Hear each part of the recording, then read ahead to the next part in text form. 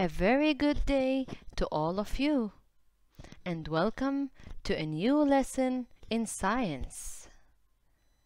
Today's lesson is about where do plants and animals live? And the objective of our lesson is to explain where do plants and animals live. So, let's go! Have you ever wondered before, where do plants and animals live? We have so many kinds of plants and animals in this world. And these plants and animals can't survive in the same places. Plants and animals live in places that have the things they need. Some plants and animals live in forests some of them live in deserts. Some other animals live in ponds. And some live in oceans. In this picture right here, we can see some kinds of different animals that live in a forest. So the forest is their habitat. In the slides that will follow, we are going to explore more about where do plants and animals live and we will discover together different habitats. So let's go. To learn more about where do plants and animals live, let's open up page 108 where we will learn now about the desert habitat.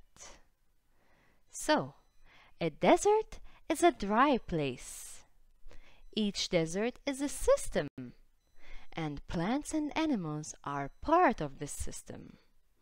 So the desert has everything they need to live and grow.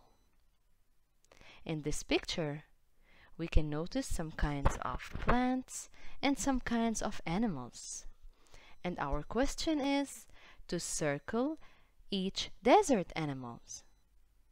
So, Let's circle the rabbit.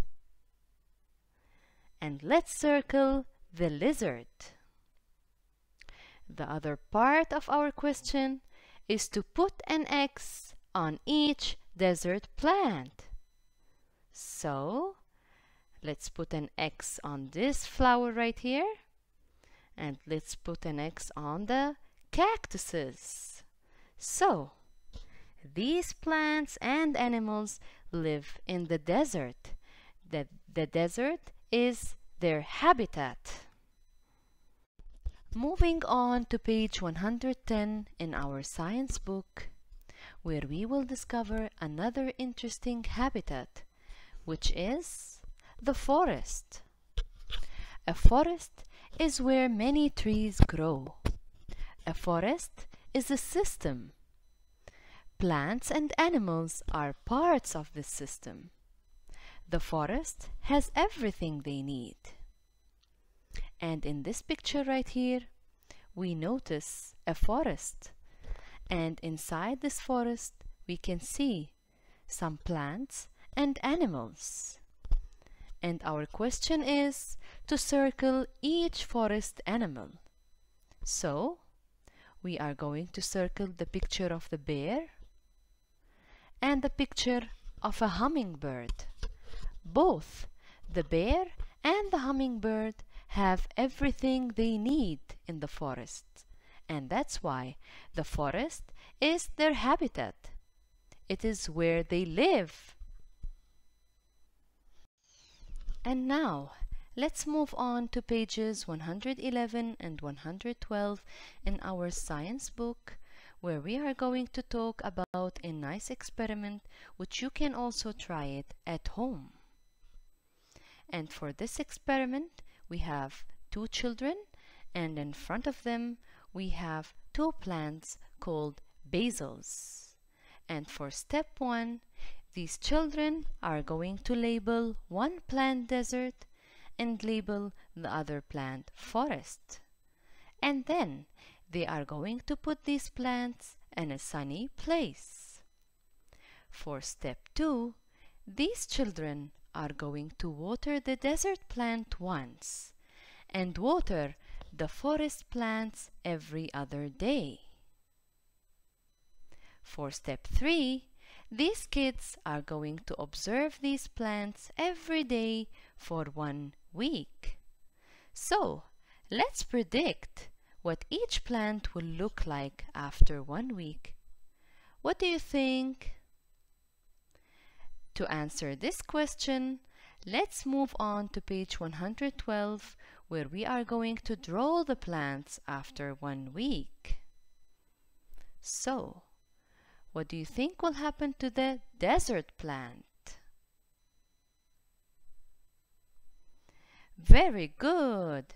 The desert plant is going to wilt after one week because it did not get the water it needs from the place it lives in. So let's go ahead and draw a wilted plant in the first box. What about the forest plant that has been watered every other day?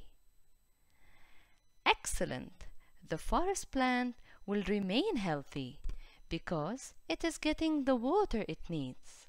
So let's draw a healthy plant in the second box. For the third box, we are going to make a claim. So we will write that a basil, like the example we used in the experiment above, or other forest plants, cannot live in a desert because it would not get enough water. And that's why the plant wilted when watered only once. And for the fourth box, we are going to draw a wilted plant. So the plant wilted because it didn't get enough water. Well done, everybody. And finally, let's move on to page 113 in our science book where we can see a forest scene. And in this scene, we will find out how many trees fell. So, let's go ahead and count the tree stumps together. So we have one, two, three, four, five, six. Six trees fell.